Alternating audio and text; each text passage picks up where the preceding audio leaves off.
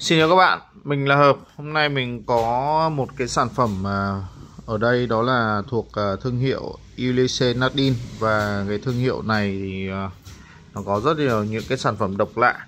Hôm nay thì mình sẽ đem đến cho anh em đó là một chiếc Mono Pusher Chronograph và chiếc này thì có size cực kỳ đẹp với size chỉ 38 mm thôi.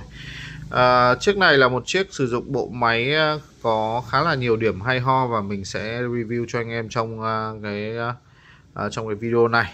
Điểm qua về cái kiểu dáng thì uh, nó sử dụng một cái thá dáng cây tròn rất là cơ bản và chúng ta sẽ có một cái uh, uh, bộ càng ở đây thì cũng được làm càng thẳng và ngang. Chiếc này có size 38 và uh, lắc tu lắc của nó lên quanh khoảng 46 cho nên là tay anh em khoảng tầm 16 đeo là đẹp à, chúng ta sẽ có một chiếc ờ, uh, Elise Nardin với cái mặt dial màu đen và đen của nó ở đây được, được làm là đen khá là sần không có bóng. Và các bạn có thể thấy những cái chi tiết trên mặt dial của nó được uh, sử dụng đó là cái màu vàng để cho nó tôn lên cái vẻ nhìn rất là khá là vintage ở trên chiếc này. Cọc số sử dụng ở trên chiếc này cũng là cọc số Arabic. Và như các bạn thấy ở đây thì chúng ta sẽ có dòng chữ là Ulysses Nardin Lerlock Suisse tức là À, UDC Nardin à, tại Thụy Sĩ ở Lerlock và các bạn có thể thấy là hai cái sóc đều khá là à, rõ và nổi ở đây. À, trong đó góc à, 3 giờ của chúng ta thì sẽ là sắp đều chronograph phút còn à, sắp đều góc 9 giờ của chúng ta thì sẽ là sắp đều kim dây small second. À, chiếc này là một chiếc chronograph và nó chỉ có một núm và cái chronograph này thì được gọi là monopusher thì uh, với những cái dòng mà monopusher này thì nó đòi hỏi một cái cấu tạo máy khá là phức tạp để có thể làm nên được. Và đặc biệt trên Ulysses Nadine này là nó sử dụng bộ máy là Ulysses Nadine Caliber UN38 bộ máy này thì là bộ máy được chế tác từ uh, bộ máy Lajo Perez Caliber 500 à 5000 À, và trong cái cơ cái bộ máy à, Lazio Perez Caliber 5000 này thì sẽ có một cơ chế đó là à, THA monopusher thì à, THA thì là một cái tổ hợp được à, à, collab bởi ba cái nghệ nhân mà làm máy đỉnh cao trong đồng hồ Thụy Sĩ. Đó là François Paul John. À, như chúng ta thường à, biết đến là Epi John và VNE Hunter và cùng với đó là CEO cũng như là founder của thương hiệu rất là nổi tiếng là The Bethune đó là Dennis Flagiolit thì uh, trong cái uh, cơ chế monopusher này thì đã được khá là nhiều những cái uh, hãng sử dụng sau này. Điển hình trong đó có thể gọi là Cartier trên chiếc Torture của mình và chiếc Ulysses Nadine này.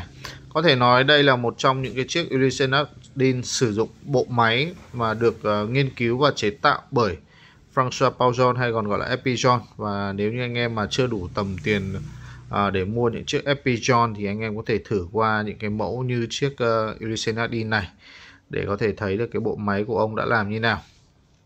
Hiện tại thì những dòng sản phẩm của Epijon thì giá rất là cao uh, Loanh quanh khoảng 60-70 nghìn đô cho đến mấy trăm ngàn đô.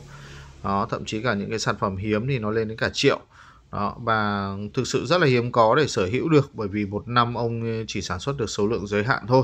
Cho nên là với những cái sản phẩm Epigeon bây giờ hiện tại thì ở Việt Nam thì mình chưa thấy nhiều. Và chắc chắn trong tương lai thì bên mình sẽ cố gắng để mang về cho anh em xem.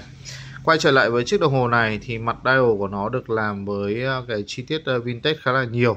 Và các bạn thấy ở phía ngoài này chúng ta sẽ có một cái vòng đó là taximeter 1000m và vòng taximeter này được làm ờ, nó khá là lạ. Với những con số này mình thấy nó khá là giống như là kiểu giọng mai hơn.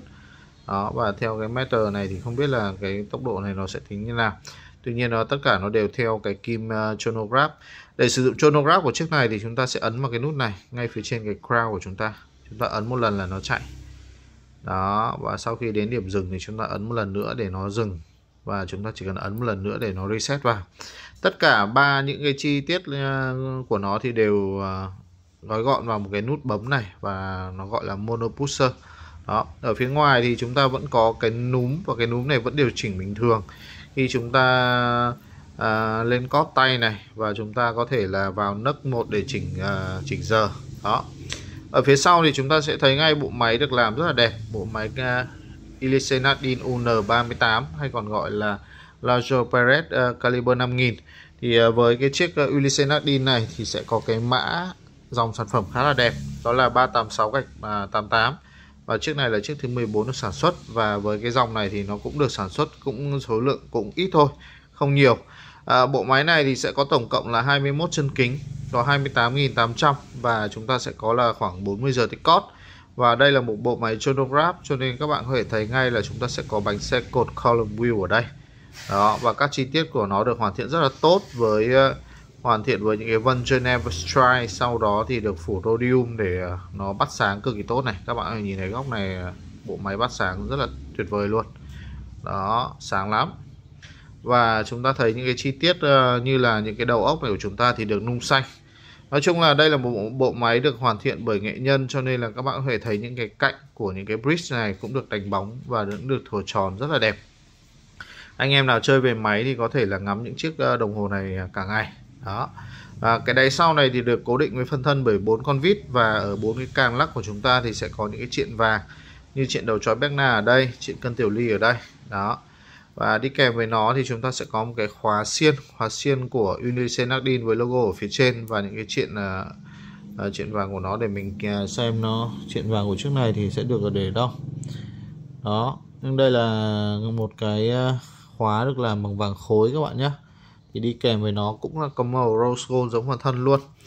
À, chiếc này thì sử dụng cái kính sapphire cả hai mặt và kính sapphire nó hơi cong nhẹ một chút à, với những cái chiếc như là Ulysses Nadine Monopusher chronograph này thì khá là hiếm hàng ở trên thị trường và để săn được thì mình cũng phải cũng rất là khó khăn.